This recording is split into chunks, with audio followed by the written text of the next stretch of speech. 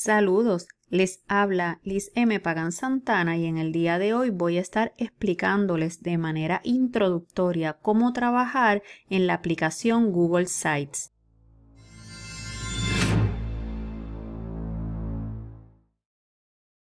Esta aplicación ustedes la pueden utilizar para crear espacios en Internet para propósitos académicos, sea crear una página informativa, crear una clase, crear un club de lectura o cualquier otra iniciativa como un proyecto académico. En este caso lo que tienen que hacer es escribir la página, como ven en pantalla, sites.google.com. Automáticamente les va a solicitar registrar su correo electrónico de Google y su contraseña. En este caso ya yo estoy dentro de la plataforma y voy a seleccionar si voy a iniciar un nuevo lugar para desarrollar información y contenido o puedo acceder a otros portales o espacios ya previamente desarrollados. Para propósitos del día de hoy voy a seleccionar crear un nuevo sitio. Puedo utilizar alguna plantilla ya creada por la plataforma o iniciar el trabajo desde una plantilla en blanco que es la primera opción. Eh, voy a seleccionar cartera de estudiantes, marco esta opción como una plantilla ya desarrollada por la plataforma y automáticamente como pueden observar les presenta la información para ser editada y configurada según sus intereses. En este caso particular, tenemos que iniciar escribiendo el nombre de la página que queremos desarrollar. Esto luego ustedes lo pueden editar.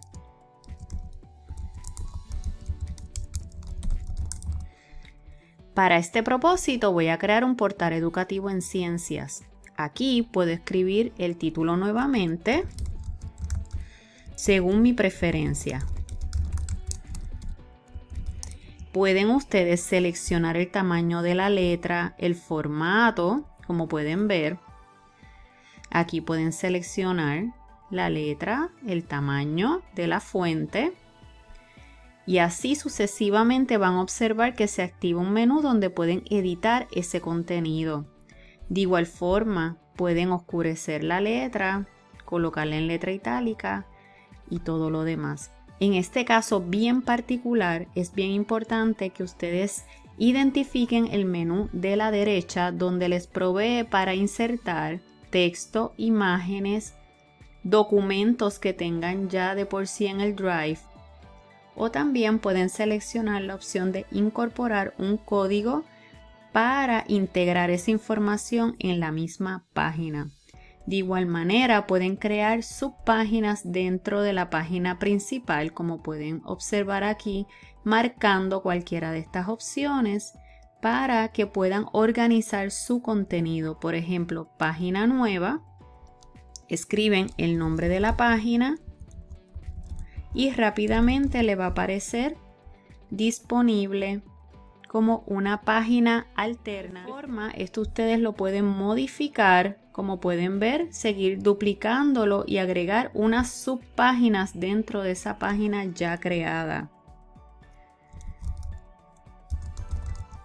Para que vean más o menos y tengan una idea, esto también ustedes lo pueden mover dentro de otras páginas en caso de que así deseen hacerlo. De igual forma van a poder observar que el tema de esta página puede ser editado de manera eh, recomendable, ¿verdad? En este caso ya hay unos diseños establecidos que ustedes pueden seleccionar para cambiar la forma en que se ve.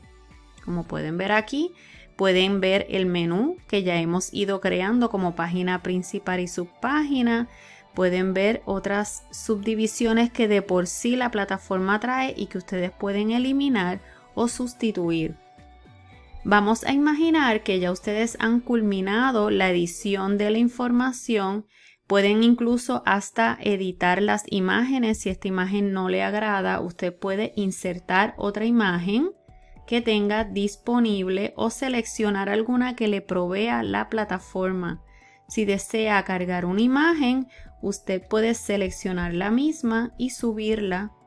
para que les aparezca y luego ustedes modifican el tamaño de la misma, como pueden observar aquí en pantalla.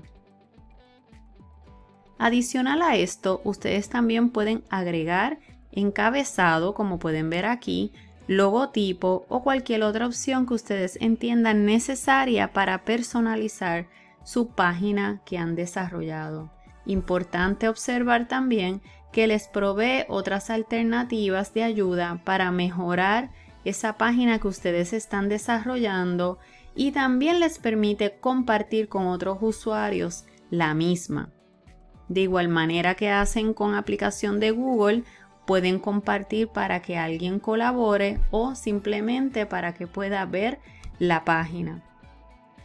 Es importante dejarles saber que ustedes pueden ir viendo cómo se va desarrollando su portal en vista previa y luego van a poder ver y publicar esta página. En caso de que la página esté lista, ustedes marcan la opción publicar.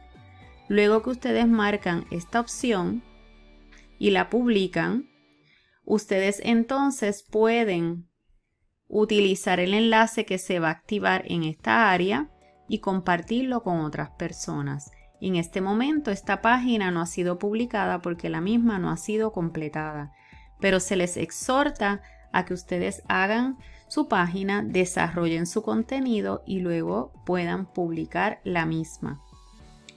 Espero que esta información básica les sea de mucha utilidad. Muchas gracias.